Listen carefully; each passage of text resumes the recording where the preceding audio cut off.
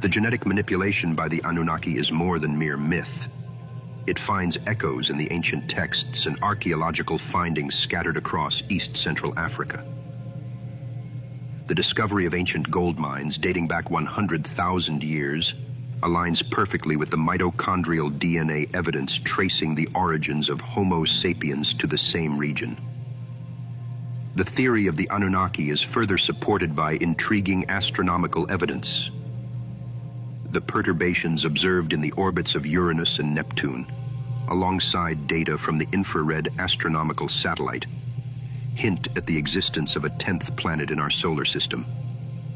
This celestial body believed by some to be Nibiru, is the alleged home of the Anunnaki. While scholars remain divided over the accuracy of Zecharia Sitchin's translations of ancient texts, with figures like Michael Heiser offering criticisms and others like Alessandro Demontis defending Sitchin's work. Beyond the realm of language, the influence of the Anunnaki is evident in the sudden emergence of advanced Sumerian civilization marked by significant leaps in technology, mathematics, and astronomy, hallmarks of Anunnaki tutelage. The ancient Sumerian pantheon of Anunnaki has cast a long shadow over the Americas as well.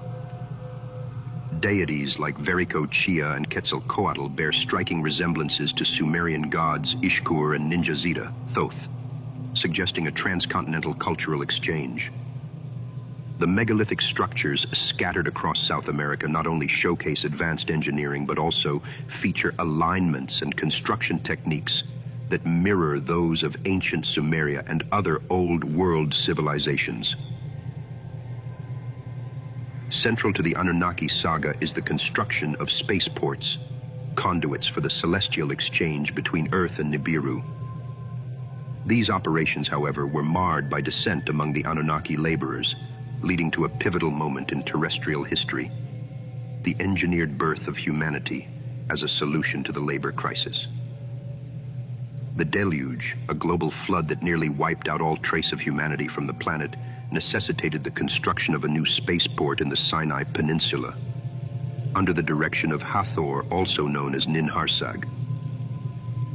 This period also witnessed the Giza pyramids' emergence as functional beacons in the Anunnaki's terrestrial operations, challenging conventional historical accounts of their purpose and origin.